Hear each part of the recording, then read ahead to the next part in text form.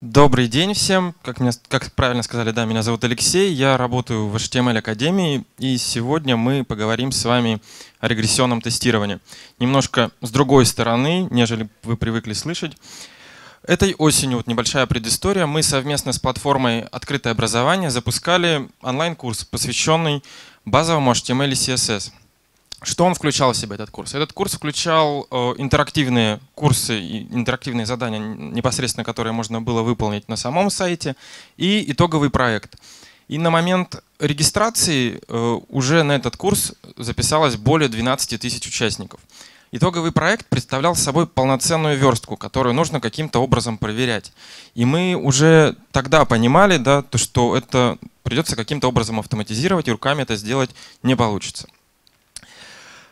мы взяли за основную технику, которую мы стали использовать, регрессионное тестирование. Вот если в двух словах для тех, кто не знаком с этим, это вот та самая любимая с детства игра «Найти отличия». То есть сейчас при помощи всех этих новых технологий эта игра становится достаточно простой и нелепой, и очень легко да, найти все эти отличия. Как это работает в вебе, как это работает в проектах? Допустим, у нас есть какое-то текущее состояние проекта, и мы сделали скриншот этого состояния. Это может быть скриншот отдельного компонента, это может быть скриншот целиком страницы, может быть какого-то отдельной кнопочки.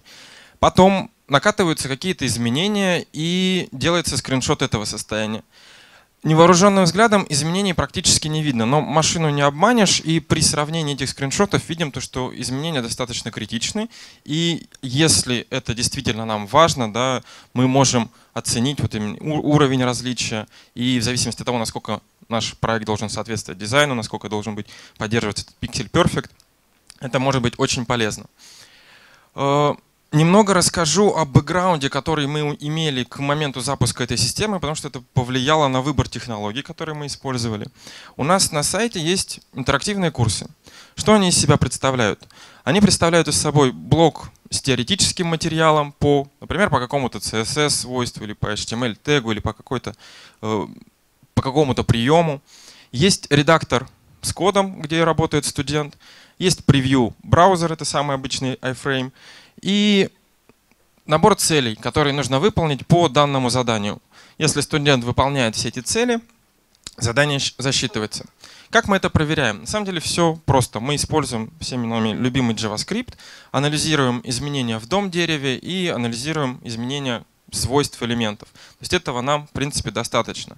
Но иногда возникает такая ситуация, когда какая-то фича в одном из браузеров не поддерживается еще или не срабатывает. Например, в том же Firefox вот у нас есть проблема, то, что first letter э, не отображается. Она просто свойства засчитывается, но студент не видит изменений. И надо это было проверять. На этот случай мы как бы организовали серверную проверку, которая работает на Phantom.js. Что такое Phantom.js? Phantom.js это тот же самый WebKit, только без какой-то графической оболочки, который имеет JavaScript API, и при помощи него да, легко можно э, оперировать там, со страницами. Ну вот пример простого запуска скрипта на Phantom.js, да, где в качестве там, параметров можно передать в принципе все, что угодно. Что находится в наших скриптах Phantom.js? Там мы открываем страницу. В качестве URL можно передать как реально существующий адрес в интернете, так и какой-то временный файл, хранящийся на, на жестком диске. Мы из того кода, который создал студент в редакторе, вот то, что он видит в превью браузера, этот код, из него создаем временный файл и натравливаем на него Phantom.js. Есть отличный метод PageEvaluate, который позволяет запустить на странице открытой любые скрипты. Собственно, мы здесь запускаем те же самые проверки, что работают и на клиенте. Но главный плюс – мы знаем абсолютно все об этой оболочке. То есть фактически мы знаем браузер, в котором запускается, знаем все его баги и знаем, как, как с ними работать. При помощи консоль лог мы обратно прокидываем в приложение, которое это все запускало, результаты этой проверки. Дополнительно можно отловить, там для некоторых заданий нам требуется отлов э, консольных сообщений на странице, либо отлов э, алертов, которые там всплывают. Фантом это все прекрасно позволяет делать. Помимо таких заданий, да, есть э, задания испытания. Здесь уже немножко сложнее для студентов, потому что они проверяют компетентность в том или ином вопросе, насколько они действительно не только да, умеют копипастить свойства и значения, но насколько понимают, как они работают, как они э, влияют на страницу. И что здесь? Точно так же редакторы кода, превью браузера, но главный момент, они видят образец, который должны получить. И главная их задача — сверстать как на картинке. Э, как это проверяется? Проверяется это все. Ну вот да, здесь, например, э, этапы отражаются этапы работы студента, да, вот он, он выполняет какие-то задания, видит, чем, как его выполненная работа отличается от образца. Как это проверяется? Проверяется при помощи того же Phantom.js, только используется другая его возможность.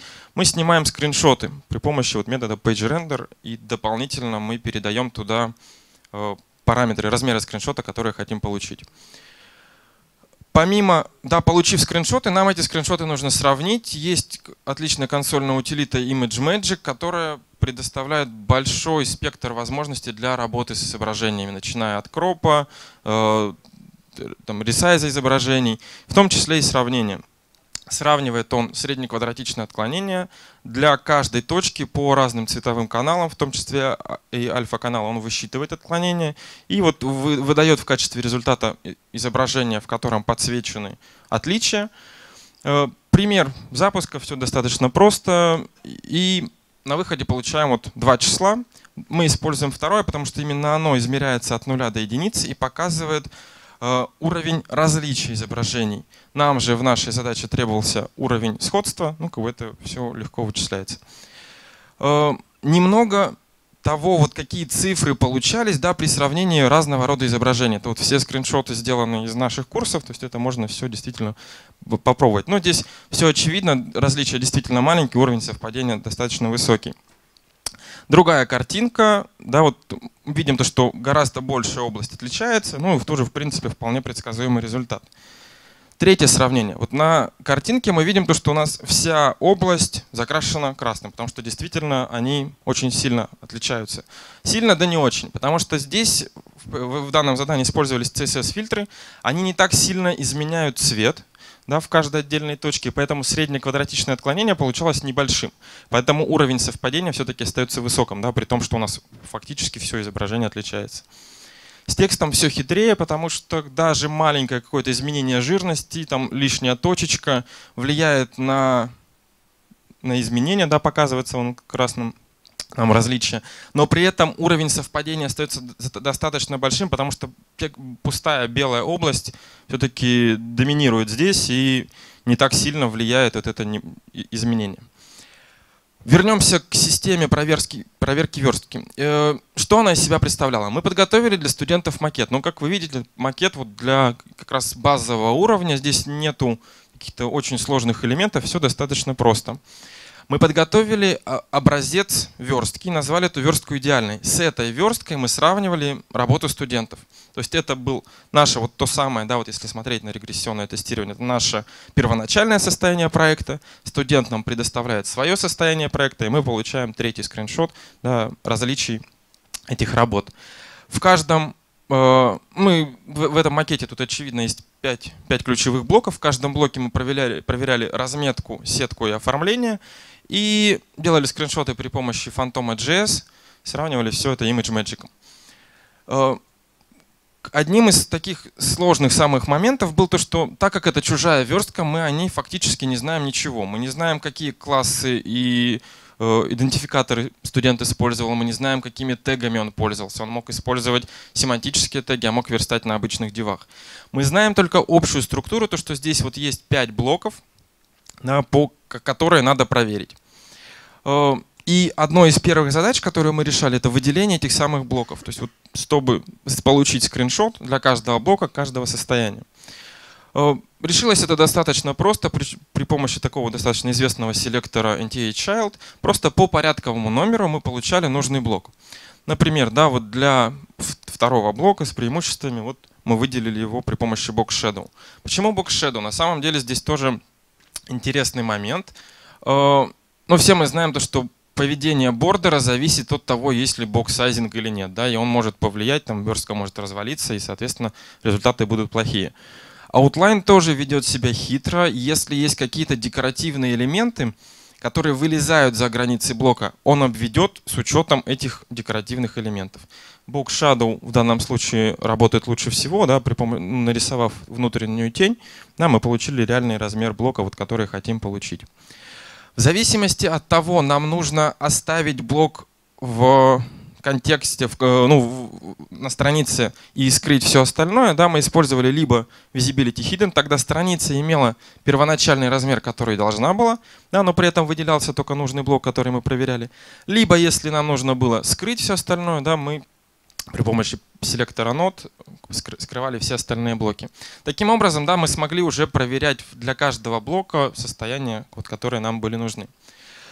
Э, и мы, ну, собственно, вот то, что мы использовали в обычных заданиях, да, загрузка каких-то скриптов на страницу и вот э, снятие скриншотов фантом, при помощи Phantom.js, мы вот это объединили здесь. То есть вот в методе PageEvaluate фактически мы внедряли на страницу наши стили, при помощи которых получали нужное состояние для съема скриншота. Как мы искали разметку? Ну, в разметке на самом деле э, нам нужно было получить абсолютно чистый HTML без какого рода, без стилей вообще. У Фантома есть прекрасный метод, он э, может э, не загружать по какой-либо маске, там, по регулярному выражению в данном случае, э, ресурсы, запрашиваемые на странице. Мы таким образом от, отрезали все стили. Дополнительно на странице мы ну, как бы еще раз подверяемся, вырезаем все стилевые таблицы, вырезаем все теги стайл, которые были на странице, и вырезаем все инлайновые стили, потому что студенты, там многие совсем начинающие, могли наворотить много всего нехорошего. Э, ну вот для шапки сайта получилась примерно такая картина. То есть вот скриншот той самой разметки, да, и по этой разметке мы можем определить, да, какие теги тут использовались, ну так, приблизительно.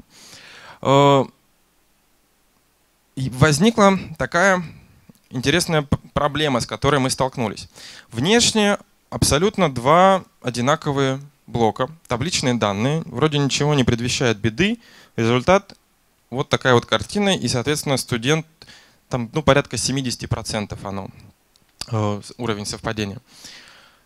Студент не понимает, что происходит, потому что он отправляет обычную таблицу, валидный HTML-код, проблем никаких нет. Почему? Стали копать и обнаружили, что вот на самом деле эта особенность вылезла только вот в фантоме э, в WebKit. Э, в обычных браузерах мы не воспроизвели ее. Наличие тега thehead отодвигало строчки, которые были ниже на там, 1 или 2 пикселя и вот давало вот такие вот различия.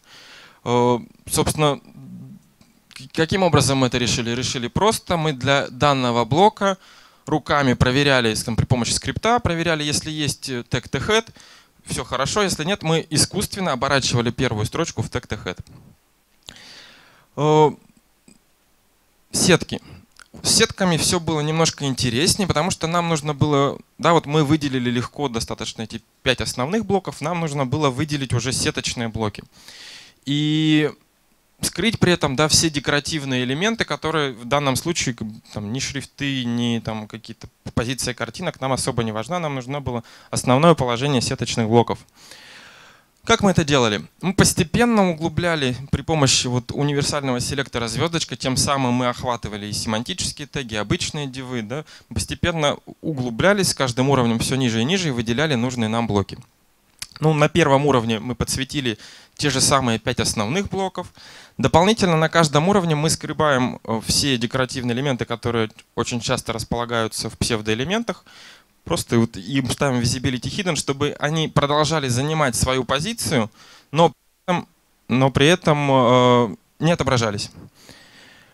Переходим на второй уровень вложенности. Да, вот у нас уже появились эти контейнеры, которые центрируют сайт э, по серединке, скрыли декоративные элементы, но на первых двух уровнях их нету, поэтому ничего не меняется. Третий уровень вложенности, вот уже появились те самые сеточные блоки, которые мы хотели как раз и получить. Скрываем декоративные элементы и дополнительно мы скрываем все, что лежит уже внутри. То есть оно нас уже не интересует, там, скорее всего, не то.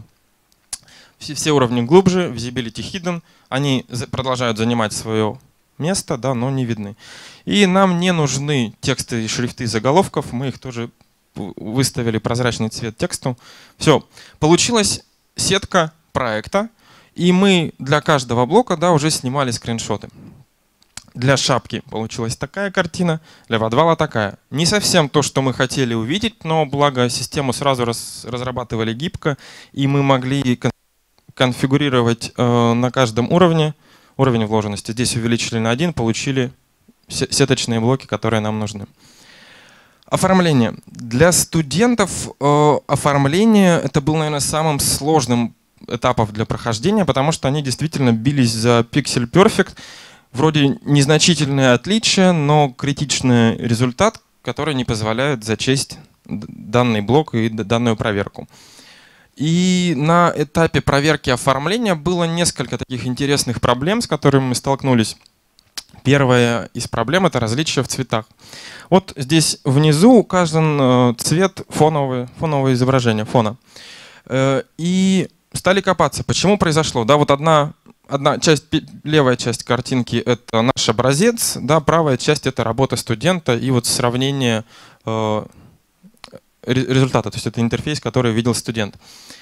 В чем э, особенность? На самом деле Image Magic для того, чтобы сравнить два изображения, необходимо, чтобы изображения были одного размера.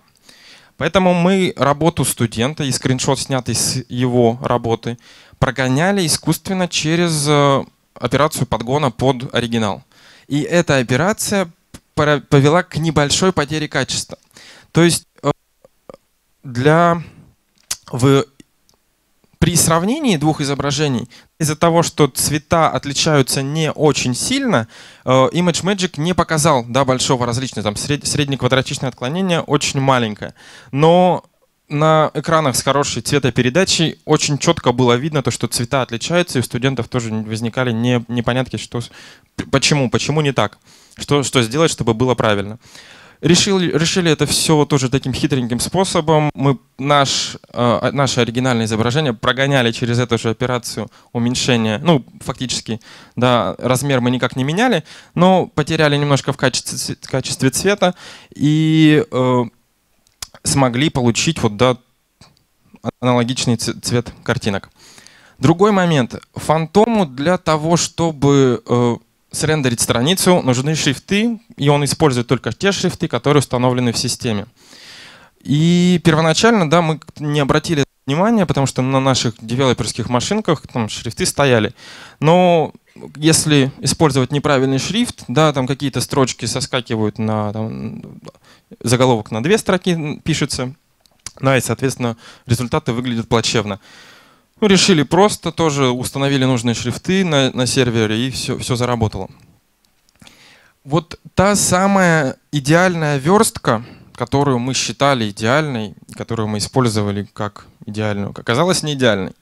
Потому как очень много было мелких ошибок, например, там неверно был снят размер, э, неверно был снят э, межстрочный интервал, да, и проставлен, неверно, там, в смысле с макета, неверно был снят цвет, у логотипа была там ошибка в одном пикселе в размере прописанном. В общем, вот такие мелочи, так скажем, много нервов расшатало нашим студентам. Но в целом как бы, все, все закончилось хорошо. Благ, благодаря тому, что да, мы тестировали это на большой аудитории, мы смогли эти все баги отловить и все это усовершенствовать. Э, вот, казалось бы, возникает такой резонный вопрос, ведь верстка, она сама по себе неоднозначна. Один и тот же макет можно сверстать огромным количеством э, способов. Но мы ставили перед собой, и у нас стояла такая учебная задача, да, чтобы студент повторил верстку оригинала.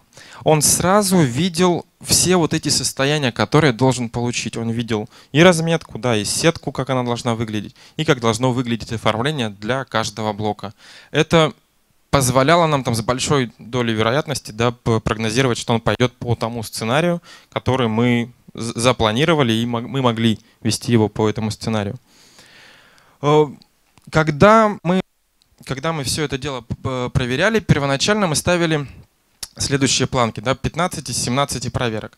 У нас мы проверяли, собственно, в каждом блоке три проверки, разметка, сетка, оформление. И дополнительно мы сетку всей страницы снимали и оформление всей страницы. Того 17 проверок. Для успешного выполнения испытания э, достаточно было 95% э, уровня совпадения на каждой проверке. И так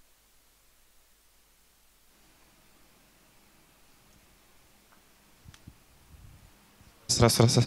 Э, так как да, эта система запускалась первый раз и требовал, ну, мы в итоге снизили до 12 из 17 проверок и до 90% совпадения в каждой проверке. Немного о результатах. Да, вот, естественно, из тех 12 тысяч, которые записались на курс, приступили к нему значительно меньше, то есть там чуть-чуть меньше половины. И для успешного окончания курса э, проходить итоговое испытание было не обязательно. То есть это итоговое испытание, вот эта верстка и проверка этого проекта, это уже требовалось на оценку отлично. Но при том количестве участников, которые да, прошли этот курс, 520 успешно завершили итоговые испытания, но особенно хочется отметить вот этих 10 упорных студентов, которые довели до 100%, потому что когда мы следили, как работает эта система, э, особенно там, когда уже приближался дедлайн, студенты использовали ее как систему тестирования. Это буквально они дописывали одну строчку кода, формировали архив, загружали его в нашу систему, ждали там секунд 30, пока это все проверится, смотрят, как изменился их скриншот, пишут следующую строчку кода, снова делают архив. В общем, мужество, героизм, отвага, вот можно награждать их смело. А, вот те инструменты, которые мы использовали в нашей системе, это ну, не единственные, естественно, инструменты регрессионного тестирования, потому как эта тема сейчас очень популярна, очень много э, всевозможных э, инструментов есть. Slimer.js, например, это аналог фантома, только там внутри работает гека. Э, есть Graphics Magic, это аналог Image Magic. Вот, например, есть такой Casper.js, это модуль, который, в принципе, работает на Раз, раз, раз. Э, на базе Phantom.js или на базе Slimmer.js и позволяет, предоставляет огромное количество инструментов для в целом тестирования э, э, страницы. И под него вот есть Phantom CSS и Backstop.js, которые тоже работают на базе тех же Phantom.js и, Phantom, и Slimmer.js. Они уже направлены на регрессионное тестирование и дают большие, большой такой спектр инструментов для регрессионного тестирования. Ну и одна из таких самых тоже известных вещей это Яндекс Gemini, которая э, вот на самом деле делает вообще магию.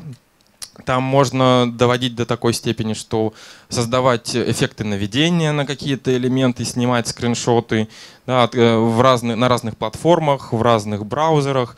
В общем, э, рекомендую попробовать. Не так давно был как раз доклад вот э, на Яндекс Субботнике вроде по, вот они рассказывали все возможности этого Gemini.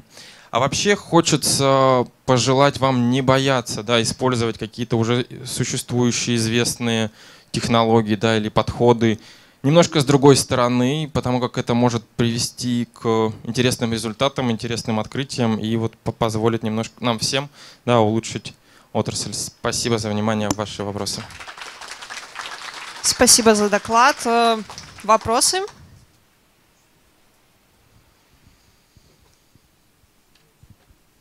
А, вот вы сейчас э, все, что рассказывали, это все-таки привязка к конкретной модели блочной и всякое такое. То есть, эм, а если использовать именно регрессионное тестирование с точки зрения, все-таки какая картинка конкретно должна получиться? Просто, вот, допустим, взять тот же WebKit если, ну, объект, допустим, нужно какое-нибудь там полотно нарисовать обычно, ну, там прямоугольнички там рисовать простенькие такие. Если использовать, например, э, свойства там top-left, и аналогичные э, цифры использовать в трансформе. Браузер их будет э, по-разному рендерить, и там разница может быть вплоть там до 5 пикселей. И вот как вот в реальной жизни, то есть э, не какие-то тестовые задания простенькие, а вот именно в реальной жизни все это можно использовать? Ну, здесь, во-первых, там зависит от того, какие у вас требования к проекту и что вы, какие браузеры поддерживаете. Да? Это первый вопрос, от которого можно отталкиваться. А во-вторых, если приводить конкретные картинки, собственно, как и мы в нашей системе, мы не ограничили студентов в выборе вот, использовать марджины или паддинги, это на их усмотрение. Да? Они были, э, так скажем, движимы общей концепцией вот, того, того, что должны получить. Но, э, например, да, вот рекомендую вам попробовать Gemini, которая позволит делать скриншоты для разных браузеров и, собственно, видеть в разных браузерах э, и на разных платформах отличия. И они вам дадут какое-то понимание того, вот действительно вы к тому идете или не к тому. Хорошо, спасибо. Еще вопросы? Э, здравствуйте, я хотел спросить, вы связку э, Image Magic и Фантома писали вручную или у вас была какая-то библиотека, которая давала какие-то биндинги на вот, команды Image Magic? Э, мы, мы писали вручную, потому что нам больших задач от этого не требовалось. Мы просто вот на Node.js было написано, мы спавнили процесс этот, передавали туда параметры и потом уже считывали результаты. Там вопросов не было больше?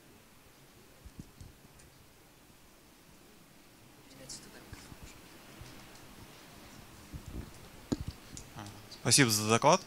А, два вопроса. Первое, что с производительностью, как быстро можно протестировать там сотню тестов? И второй вопрос, а, а, вот вы говорите про сетку, а ее можно автоматизировать или это все вручную делается? Каким образом автоматизировать? Ну, в смысле, что, ну, что вы ну, имеете в виду? Как-то там э, разметку подстроить, чтобы искать, либо еще что-то. То есть, я как понимаю, вся сетка у вас делается именно вручную. Вот поиск. Э, ну, как я, как я говорил, мы сравнивали с оригиналом, да, то есть нашей идеальной верстки. То есть там уже сетка была создана, и вот для нее использовалась там определенная разметка в, в HTML. Да, то есть те же там э, дивы, да, вот, или там inline блоки flow, то есть, собственно, как бы это Э, и то есть мы, как бы, ну, собственно, вот здесь просто я не очень понимаю, да, именно о какой автоматизации. С, э, в данном случае, да, это была система сконфигурирована под конкретно этот проект. Да, но она позволяла на, там, на, для, вот мы сейчас на, на Академии тоже запускаем э, собственный собственную проверку, итоговые испытания. Да, там система просто конфигурируется под другой проект, там сетки другой, другого уровня вложенности на каждом блоке, там блоков больше. То есть это легко настраивается. Вот, но все равно да, а, основное сравнение происходит с оригиналом. То есть и здесь она, не, не, эта система да, не позволяет загрузить абсолютно любой, любую верстку да, и сравнить ее. Но как бы вот общий принцип регрессионного ну, тестирования, который мы использовали, да. На больших проектах там просто бывают сотни, там тысячи страниц, и вот вопрос, как это дело оптимизировать. То есть не будем же мы каждую страничку индивидуально расставлять. Вот не думали над тем, как можно это а так смотрите, на большом проекте у вас уже есть текущее, допустим, состояние какое-то, которое вы считаете ну, так, более-менее идеальным. И при э, выкладывании каких-то обновлений да, вы запускаете автоматически эти тесты, и они вам сравнивают состояние там, по, каждому, по каждому компоненту, например, и по каждой странице. И в зависимости от того, какой у вас там порог вы допускаете, да, погрешность, там, допустим, 90%, 95%, вы смотрите потом в результатах, а какие страницы э, у вас э, там, не прошли эту проверку. Вот. А по поводу нагрузки, ну, сам по себе фантом не очень быстрый. Мы сейчас э, смотрим на электрон, Потому там, там во-первых, Chromium, там уже поинтереснее можно и какие-то фичи использовать.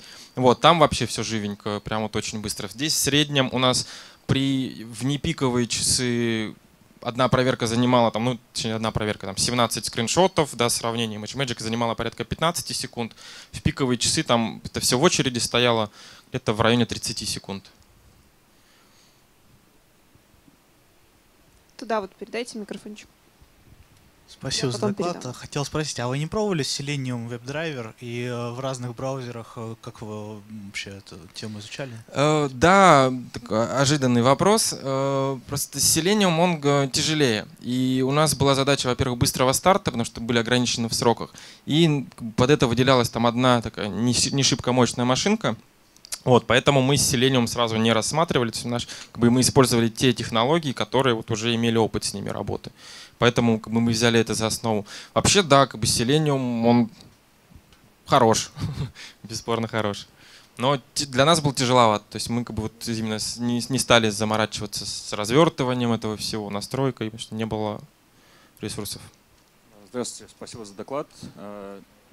А, как вы проверяли, каким способом сверстан был тот или иной блок? Может быть, человек набросал там position absolute, например, испозиционировал все или там, не знаю, какие-нибудь сумасшедшие отрицательные маргины начал использовать?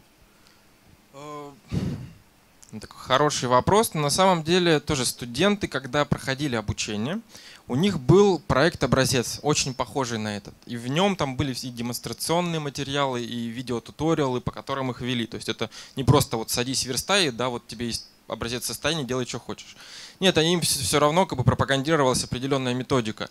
И, скорее всего, если бы это было спозиционировано абсолютом, там, возможно, какие-то проверки у него бы стали отваливаться. То есть там какие-то блоки, если он, допустим, да, мы э, при такой классической верстке поддерживаем какую-то вложенность, а у него абсолютом все лежит на одном уровне.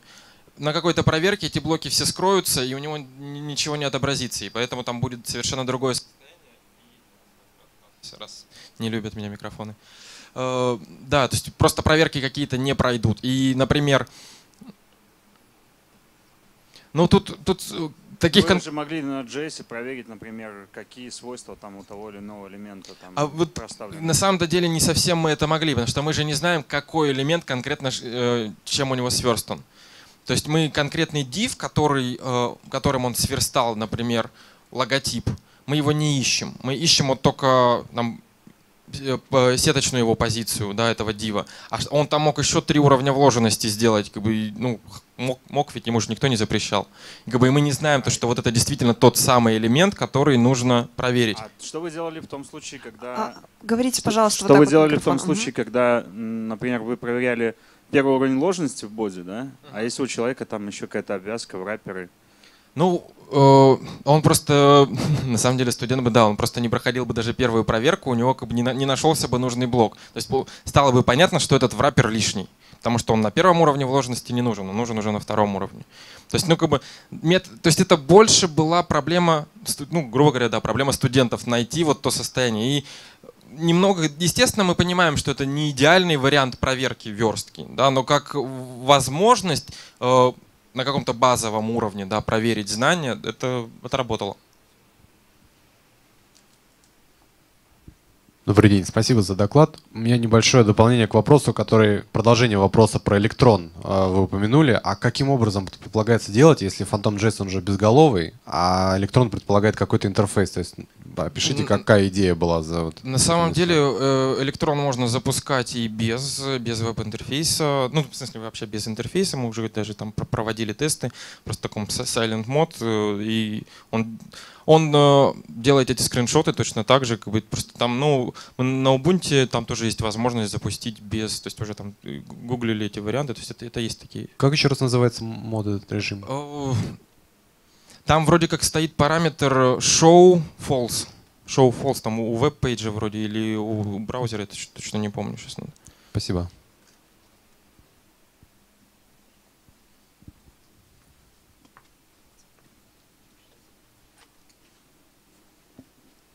Спасибо за доклад. Э, скажите, вот вы качество верстки, получается, определяете визуальным картинкой и структурой HTML, да?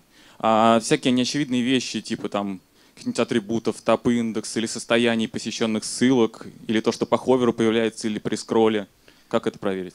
Э, ну, это такая действительно уже более глубокая проверка, и ну, здесь у нас такой задачи не стояло, а вообще тоже есть же много разных библиотек, которые позволяют и парсить, и HTML, и CSS, и разбирать, там, и пост CSS позволяет это все дело получать, а можно это все анализировать. То есть у нас помимо да, вот этих онлайн-курсов на сайте есть интенсивный курс, где точно так же есть там итоговые проекты. Вот там мы уже подумываем о системе такой более глубокого анализа не только да, внешнего соответствия макета, но и качества кода. Спасибо. Спасибо за доклад. А что делать с элементами с относительными размерами? Как их тестировать? Ну, э, в смысле, которые в процентах заданы? Ну, либо в процентах, либо еще в каких-то величинах. Ну, во-первых, да, здесь у нас, в принципе, в этом э, проекте резины нет, но можно задавать размеры страницы. И если, например, да, мы ту же адаптивную верстку какую-то проверяем, мы знаем состояние макета, да, у нас там есть на 700 пикселей, допустим, там на 300 пикселей. Просто открываешь окно в этом размере, снимаешь скриншот и получаешь вот то состояние, потому что каждое промежуточное, ну, можно проверять, конечно, но оно надо ли? То есть это такие уже какие-то более субъективные проверки, а вот действительно соответствие состоянием на, на брейкпоинтах или там вот на опорных точках, это все можно регулировать именно размером окна, который, в котором делается скриншот. Спасибо. Еще вопросы? Спасибо за доклад. А, следующий доклад у нас будет через 25 минут. Да, через 25 минут, и мы проговорим про верстку и CSS.